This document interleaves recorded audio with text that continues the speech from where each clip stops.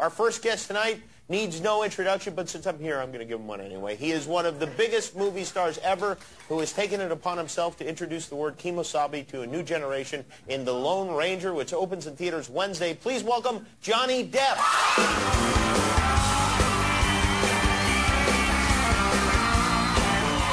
Thanks for coming. How you doing? I'm good.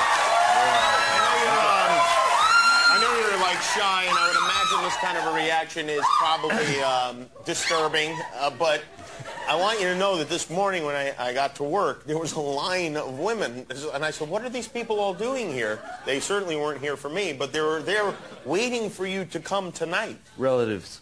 Relatives? Yep. I have a lot of relatives. Yeah. You know, you I have mean, they stretch so far. You have this uh, very handsome, this uh, let's just be honest and say beautiful face, and.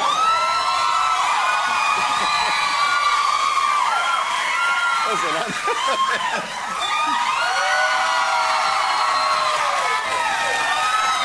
are not popular in high school with the girls or talk show hosts? No, I, I, I do have a thing for talk show hosts, Well, sure, yeah. Who doesn't? obviously. But uh, no, no, in high school I was not, uh, no, I was kind of the long-haired.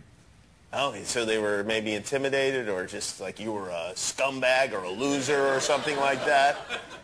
That's pretty much Yeah, it. much. Yeah, yeah. Top five reasons. Well, there's probably a few reasons, really. Uh, number one, I don't think they liked me. Oh, really? Uh, yeah. Huh.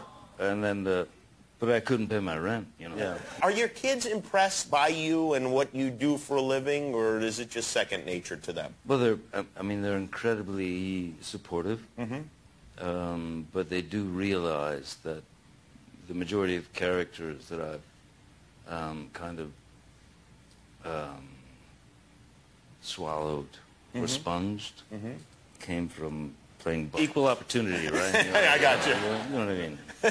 Wow, I never realized the Supreme Court decision would have such an immediate impact on, on both of us, really. The reason I asked you this is because your daughter... I do want to say something though. Yes, I played more Barbies. you played more Barbies than G.I. Joe.